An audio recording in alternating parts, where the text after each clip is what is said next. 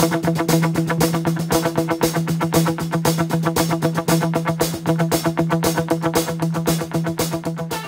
2023 roku na terenie miasta i gminy Piekoszów zrealizowaliśmy szereg znaczących inwestycji.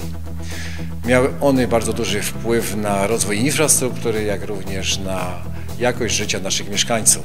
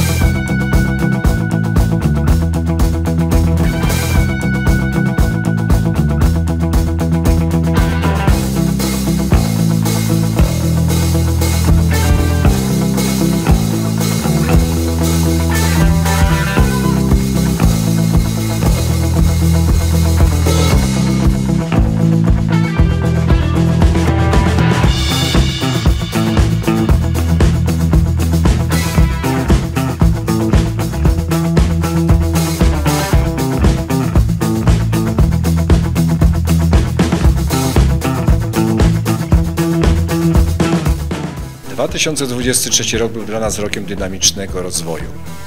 Jeszcze lepiej zapowiada się 2024 rok. Mamy historycznie rekordowy budżet w kwocie 126 milionów złotych, z czego na inwestycje przeznaczyliśmy rekordowe jak do tej pory środki w wysokości aż 44,5 miliona złotych. Nie zwalniamy tempa. Przed nami kolejne ważne inwestycje, które w znaczący sposób podniosą jakość życia naszych mieszkańców.